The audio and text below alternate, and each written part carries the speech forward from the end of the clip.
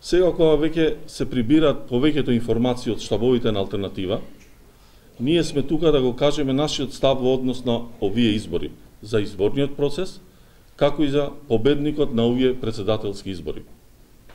Од информациите кои ни пристигнуваат од локалните штабови на алтернатива, председателските избори, како во првиот, така и во вториот круг беа коректни, праведни и не се забележани инциденти кои можеа да му наштетат на кредибилноста на изборниот процес.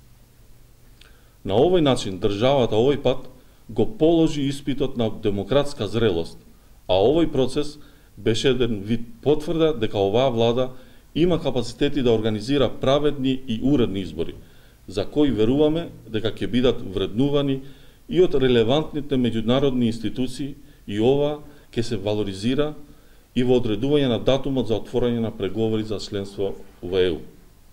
Втората работа која сакаме да истакнеме е дека овие избори потврдија дека мнозинството на нашите граѓани се за западните вредности и за евроатлантската интеграција на земјата. Дури излезноста на овие избори, постигнувањето на потребниот цензус и изборот на кандидатот што гарантира стабилност, интеграција и просперитет – е уште една потврда за нашата стратешка определба. На крај, од информациите на нашите штабови, како и од другите информации кои ни доаѓаат од терен, ние веќе од сега можеме да му ја честитаме победата на кандидатот Стево Пендаровски.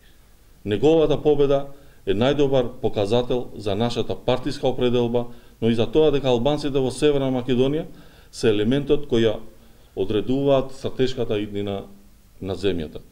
Ние им се заблагодаруваме на сите граѓани кои се одзваа на повикот за гласање и ја избраа праведната страна на историјата за нашата држава. Благодарам на сите.